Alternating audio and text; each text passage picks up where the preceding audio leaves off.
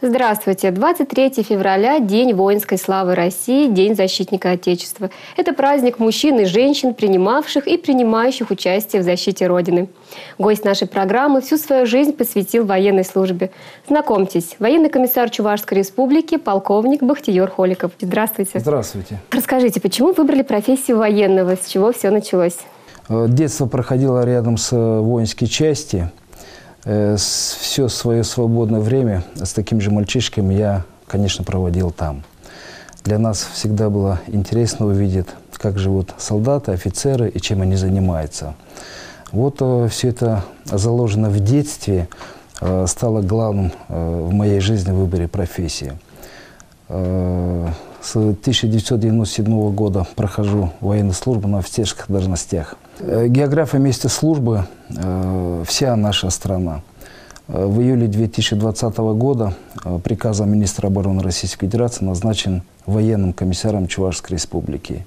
Женат, воспитывая троих детей. Вы руководите военным комиссариатом Чуваши с сентября прошлого года. Расскажите свои первые впечатления, когда прибыли в Чувашию. За годы службы пришлось побывать во многих городах России. Город Чебоксары, вся Чувашская республика. Мне и члены моей семьи очень понравились.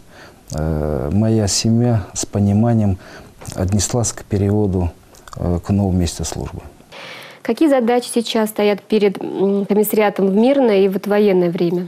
В соответствии с положением о военных комиссариатах основными задачами являются обеспечение исполнения гражданами воинской обязанности, э, организация и проведение мобилизационной э, подготовки и мобилизации, реализация прав граждан, уволенных с военной службы и членов их семей, обеспечение социальным гарантиям, включая пенсионного обеспечения.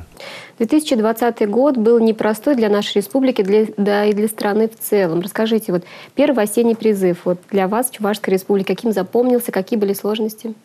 А, сразу хочу обозначить, что весенний осенний призыв 2020 года, установленный задание штабом Центрального военного округа, мы выполним в полном объеме и в срок. Как проходил призыв? Э, сложно. Э, в первую очередь сложность заключалась в организации мероприятий, направленных на недопущение заноса инфекции в военные комиссариаты, э, призывные пункты, республиканский сборный пункт. Удалось эту задачу выполнить в полном объеме.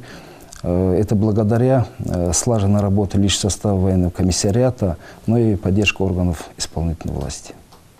Как обстоят дела с допризывной подготовкой? По каким воинским специальностям можно обучиться? Установленной военной службы по призыву, а это один год, предусматривается качественная подготовка граждан к военной службе, в том числе по э, военно-учетным специальностям. Данную подготовку мы проводим на базе школах э, ДОСАФа России в Чувашской республике. База у нас здесь хорошая. Там мы готовим специалистов водителей, водителей электромеханики, водителей парашютистов. Отмечу традиционно Чувашская республика Э, комплектованием вооруженных сил э, проводят достаточно высоком уровне. Где сейчас можно служить по контракту, в каких регионах? Ежегодно мы с пунктом отбора по контракту отправляем э, наших ребят с территории нашей республики порядка 500 человек для прохождения военной службы практически наших земляков разных регионов нашей страны. Э, на сегодняшний момент э, несколько тысяч наших земляков проходят службу по контракту в рядах вооруженных силах. В республике активно развивается кадетское юноармейское движение. Какие между ними взаимоотношения? В военном комиссариате создано отделение по военно-патриотической работе и работе с ветеранами, которые активно взаимодействуют с штабом юной армии. Я и мои заместители активно принимаем участие в реализации всероссийского проекта «Юная армия». Оказываем практическую и методическую э, помощь э, в подготовке команд для участия на межрегиональных и всероссийских мероприятиях. Вот если молодые люди решают поступить в вузы Министерства обороны, куда им нужно обратиться? у нас в военном комиссариате республики создана и налажена тесная связь со всеми учебными заведениями Министерства обороны Российской Федерации. У нас ежегодно приезжают представители этих учебных заведений с нашими представителями, проводим различные мероприятия в наших школах в республике. Э, да, ребята доводят информацию и порядок поступления в высшее учебное заведение, порядок прохождения военной службы, особенности военной службы. Мы каждый год отправляем, практически у нас получается больше 300 человек, больше 300 человек поступает, и успешно наши земляки учатся в учебных заведениях Министерства обороны. Конкурс при поступлении э, в учебное заведение Министерства обороны практически одинаково. Бахтиер Махмаджонович, что вы можете пожелать тем, кто уже связал свою жизнь с профессией военного, и те, кто собирается сделать выбор?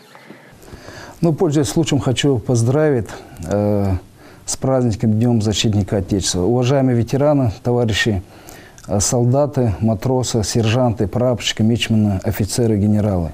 Э, поздравляю вас с замечательным праздником, Днем Защитника Отечества. Желаю вам, вашим родным и близким крепкого здоровья, семейного благополучия, бодрости духа, успехов в деле воспитания подрастающего поколения и служения нашей Родине. Бахтиер Махмаджонович, спасибо вам за интересную беседу. С праздником вас. Спасибо большое. А я напоминаю, что мы общались с военным комиссаром Чувашской республики, полковником Бахтиером Холиковым. До свидания.